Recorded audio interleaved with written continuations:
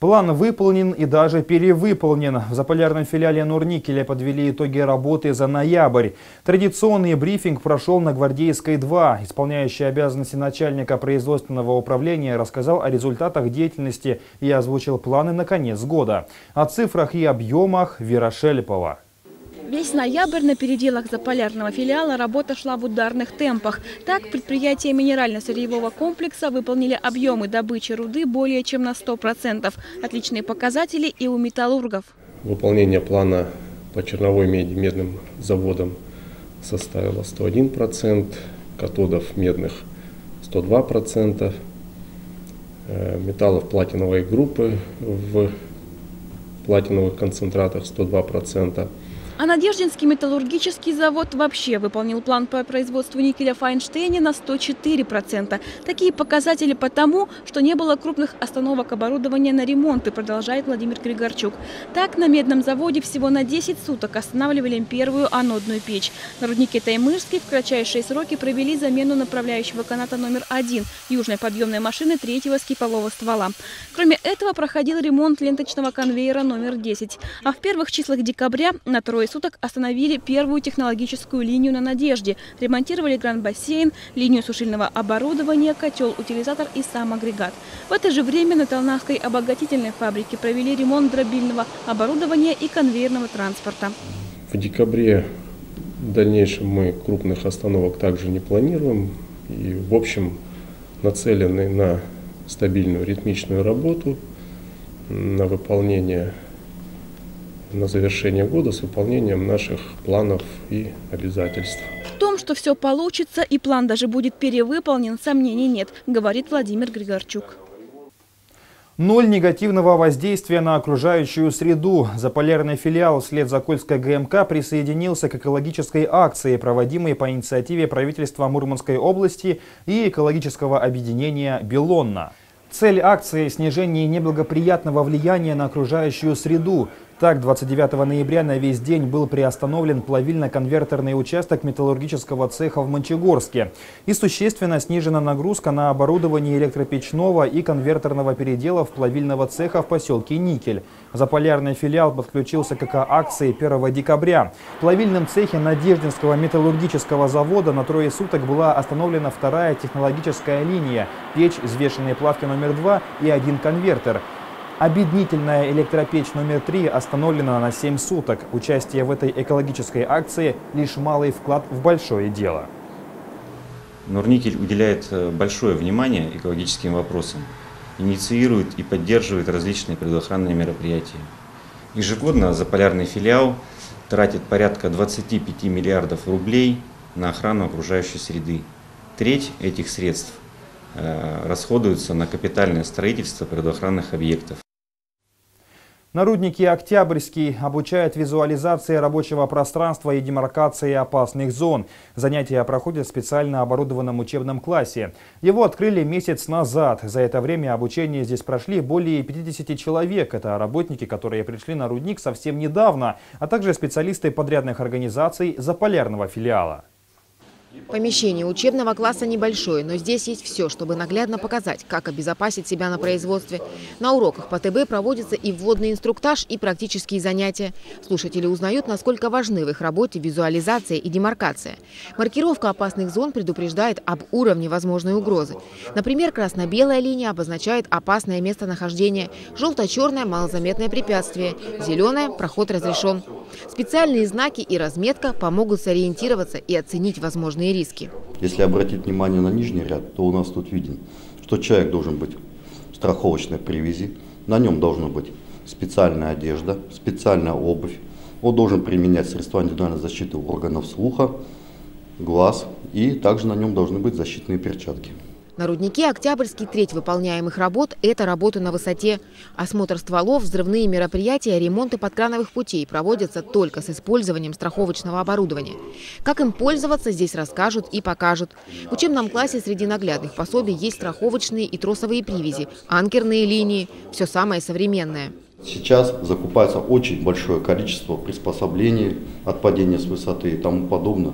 И люди не успевают за этим потоком информации.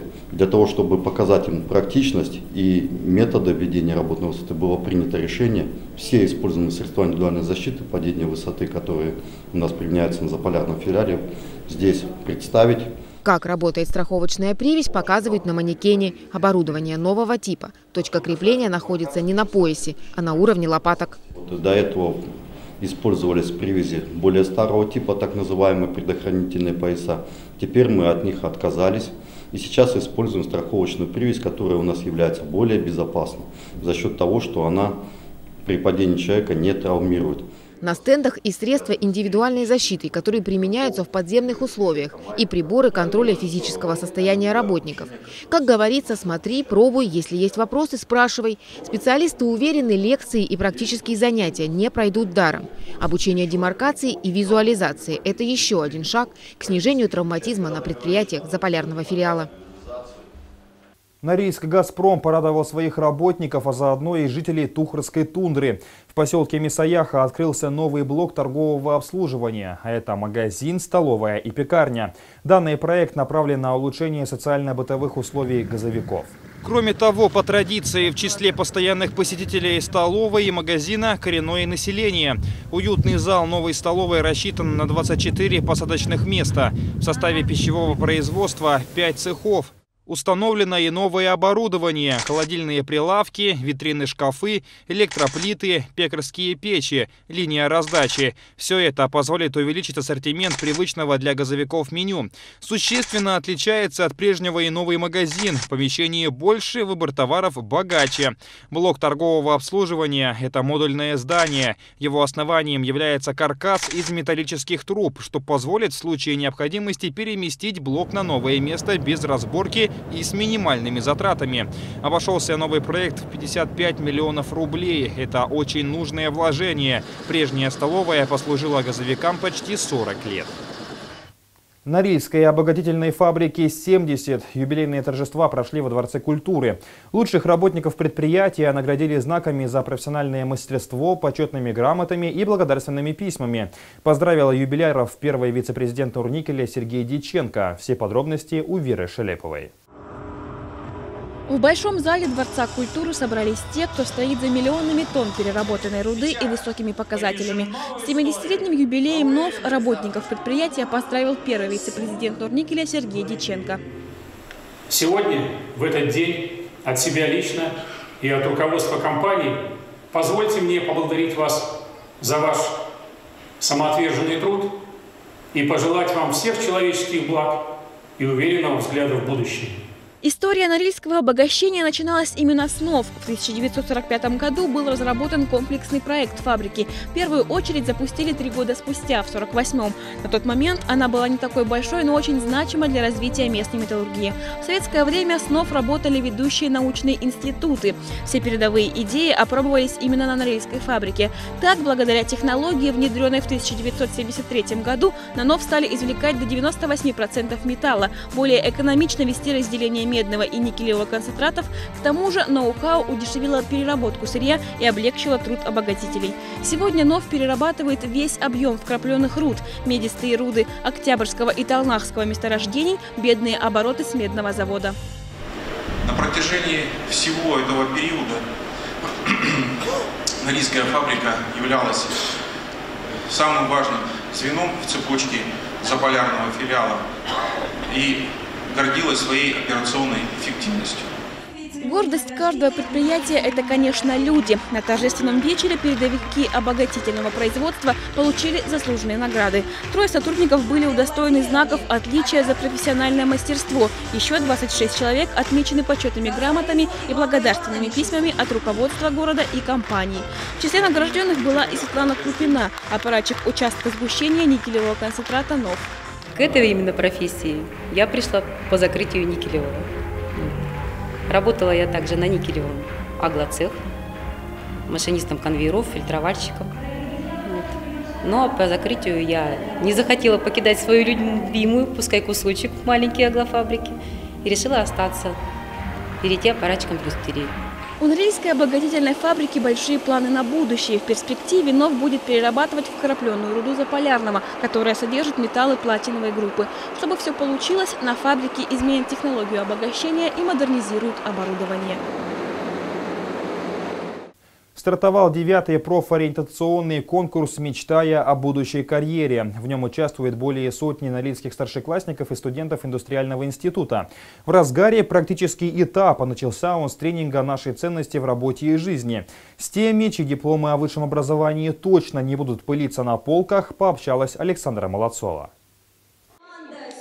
Что такое культура человека, как строится система ценностей, какая она корпоративная культура? Об этом рассуждают те, кто пока только мечтают о будущей карьере. Первоначально культура человека – это система ценностей, принятая обществом. Также это нормы, принятые обществом, и возможность, а также способность их э, оценивать и следовать ими. Участников тренинга разбили на пять команд – горняки, строители, энергетики, механики и металлурги. Каждая представляла самые востребованные специальности в заполярном филиале и основные кафедры индустриального института. Дмитрий Шишев учится в 10 классе 48-й гимназии. 16-летний парень уверен, что конкурс, мечтая о будущей карьере, хорошая площадка для знакомства с будущей профессией. Как нам э, сообщили об этом мероприятии, я загорелся идеей. Я загорелся тем, как я хочу построить свое будущее. А, данное мероприятие позволяет мне, позволит мне приобрести опыт, который мне пригодится в будущем для получения хорошей профессии, например. Тренинг «Наши ценности в работе и жизни» впервые провели летом. Участниками стали тошевцы. Отзывы были положительными, поэтому тренинг включили в программу всех профориентационных мероприятий компании. С него стартовал практический этап нынешнего конкурса «Мечтая о будущей карьере». Его участники только в начале большого пути, но уже знают, какие в случае победы получат преимущества. Участие в конкурсе им дает возможность получить дополнительные баллы к единому госэкзамену и они знакомятся с кафедрой, на которую хотят поступать, знакомятся с преподавателями. То есть, когда они приходят в институт, они быстрее адаптируются. Впереди у участников профориентационного конкурса подготовка и защита исследовательских проектов. Темы для них разработали преподаватели индустриального института. Результаты своих исследований команды представят 18 января, а 31 состоится творческий этап, по завершению которого объявят победителей. В субботу на открытой арене «Лужки клуб» стартует двухдневный турнир с участием самых титулованных хоккеистов ЦСКА, «Динамо», «Спартака» и «Крыльев Советов». Он пройдет при поддержке компании «Норникель» и будет посвящен столетию со дня рождения Анатолия Тарасова. Игроки выйдут на лед в форме, дизайн которой создан по мотивам экипировки четырех московских клубов 60-70-х годов. За Кубок Легенд будут бороться Вячеслав Фетисов, Павел Буре, Алексей Касатонов, Игорь Ларионов, Виталий Прохоров, Сергей Бабинов, Владимир Малахов, Виктор Шалимов и многие другие. Телеканал Матч ТВ 9 декабря проведет трансляцию финала. По оценкам последних исследований, хоккей становится одним из самых популярных видов спорта в России. Уровень интереса к нему растет. На это, в частности, нацелен и подписанный в октябре 2018 года договор о партнерстве между Нурникелем и Федерацией хоккея России, направленный на развитие программы «Красная машина». Ее цель – поддержка спортшкол, подготовка и повышение квалификации тренерского состава, проведение детско-юношеских турниров и мастер-классов для юных спортсменов в регионах, где расположены производственные активы Нурникеля. Президент компании и глава холдинга «Интерос» Владимир Потанин активно тренируется уже несколько лет. Регулярные тренировки и отличная физическая форма позволяют ему результативно выступать на турнирах Кубка Легенд и матчах ночной хоккейной лиги. Норильчане надеются, что ночная хоккейная лига в следующем году доберется и до нашего города.